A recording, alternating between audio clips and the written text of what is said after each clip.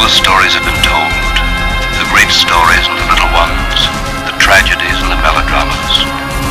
When all the stories of what happened in Europe have been told, as of course they never can be, the Seventh Cross will be remembered as the story of a few little people who proved there is something in the human soul which sets men above the animals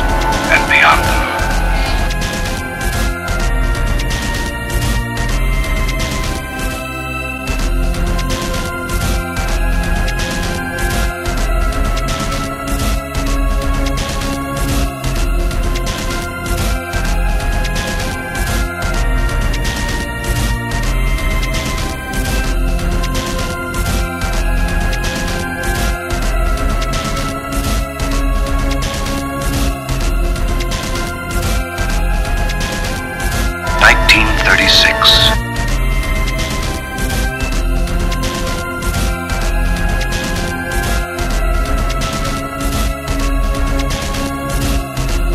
Wars and the aggressions had not yet begun, but the concentration camps were full. The Germans were still purging their own country of rebels, purging their nation of the last traces of human decency.